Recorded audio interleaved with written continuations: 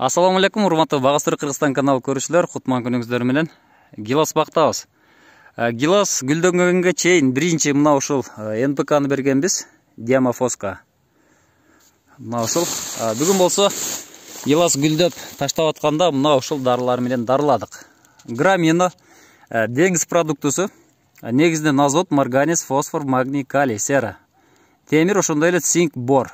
Бор бар андан кийин э, ооруну э, оорунун алдын алуу максатында чирик ооруну э, сактоо максатында мына ушул дифенскор деген дары менен дарыладык туугандар азыр гилас гүлдөп жарымы гүлдөп атса жарымы түшүп атат кээ бирлери уже королоп калды кеч калган гиластардын кээ бир гүлдөрү мынтип гүлдөп атат токсон пайыз гүлүн таштады десек болот кжб формасында мынтип кора тийип калды десек болот мынеке мына ушундай кора болуп калды бул жерде беш сорт бар.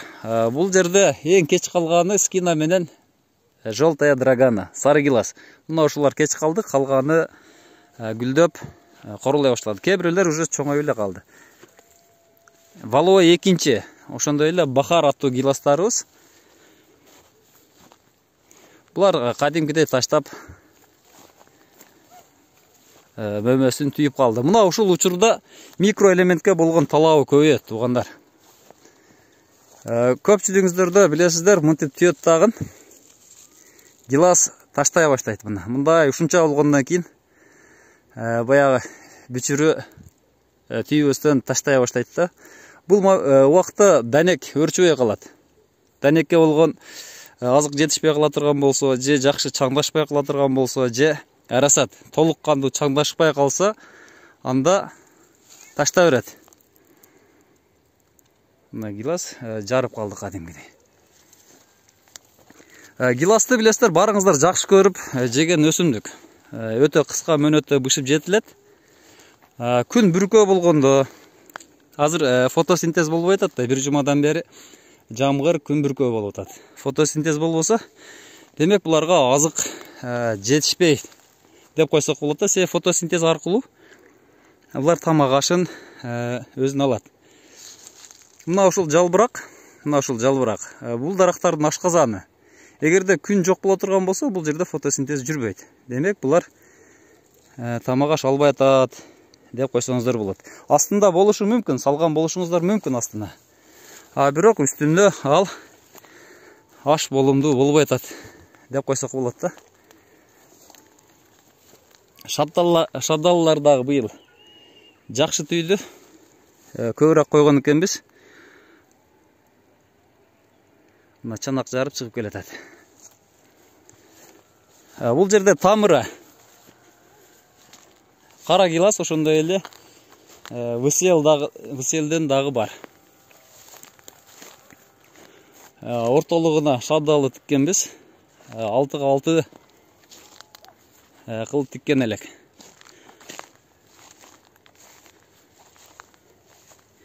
Быйыл гиластын погодасы болуп атат. Ылдыйкы зонадан баштап жогорку зонага чейин быйыл буюрса гиластын соонун жылы болот окшойт. Кечке маал дарылап атабыз. Туугандар мынакей жамгырлуу погода болгондо мына астында көрүнүп турат мынакей боз чирик оорусу деп коет мына ушул бир жалбырак мынакей алып көрсөтөйүн сиздерге мына ушул оору мына ушул көбөйөт жанагы скор деген дарыны чачканыңыздарда мына ушул ооруну таратпай кармап турат көбөйтпөйт баягы гиласыңыздарда кара точка дак болуп калат го же чирип кетет бир жагы мына ушул нерсе мына ушул азыркы көрсөткөн жалбырактагы оору бул мөмөгө курт кумурскалар аркылуу тез эле жугуп кетет. Ошондуктан туугандар биринчи дарысын гүлүн төгөрү менен берсеңиздер болот. Жогору карап чыгып келатабыз. Былтыркы жылы кургаган ордуна тиккенбиз. Высел асты үстү валовой үчүнчү.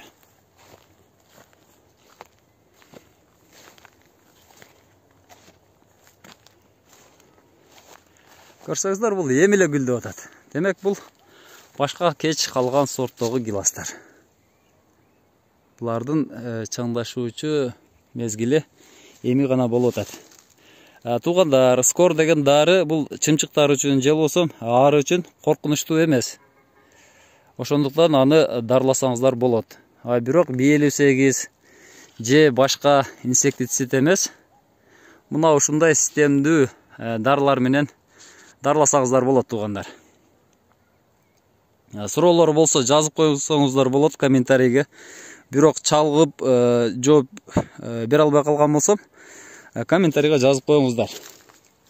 Колдон келишинче жооп бергенге аракет кылабыз. Болбосо жогоруда көп контентте видеолор тартылып коюлган ошол жактан дагы көрсөңүздөр болот всл өтө тез мөмөгө кирет туугандар былтыркы жылы тиккен болсок быйыл мынанда всл гүлдөп атат мынакей мал эми гана гүлдөптүр сонун болуп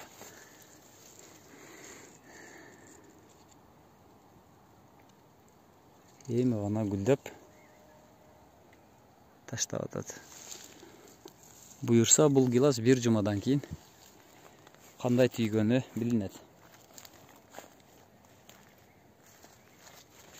гиластын түйбөй атканы бул биринчиден чаңдашпай аткандан болушу мүмкүн азот жетпей аткандыгынан болушу мүмкүн фосфор жетпей аткандыгынан болушу мүмкүн анан жашы жете элек болушу мүмкүн негизи туугандар эгер вишняда тиккен болсоңуздар тамыры анда төртүнчү бешинчи жылы мөмөгө кое берсе болот эгер сары гиласта болсо он эки жылда магеловкада сегиз тогуз он жылда.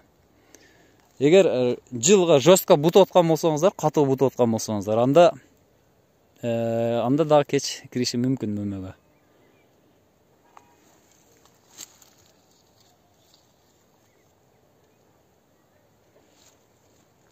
кудайым насип кылса быйылкы жылы түшүм мол болот деген ниеттебиз. Анан суу боюнча көпчүлүгү гүлүндө суу коюш керекпи койбош керекпи деген суроону көп беришет. Туугандар эгерде жердеги жердин астындагы нымдуулук жетимиш пайыздан сексен пайыздан аз болсо анда сууну коюңуздар.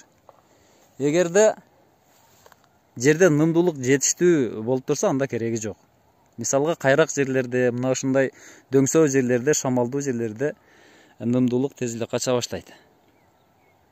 Азыр бул жерде эң көп сууга болгон талабы дары дармекке азыкка болгон талабы жогору болгон учур азыр. Бир гиласты жетиштириш үчүн кеминде мына ушундай жалбырактан канча тогуз он тогуз он жалбырак керек болот. Балким андан дагы көбүрөөктүр шабдалы. Бул эми гана гүлдөп бүтүптүр башка сорт элберт деген сорт. Бул түйө элек экен али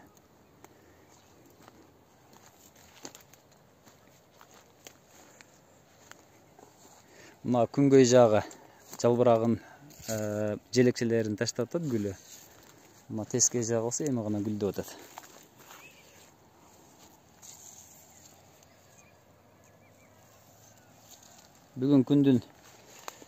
жылуулугу жыйырма жыйырма беш градуска чейин болду демек бул гиластар үчүн ушундай аба ырайы өтө сонун чаңдаша турган мезгили баға сыры қырғызстан каналы болды. Туғандар тыныш аман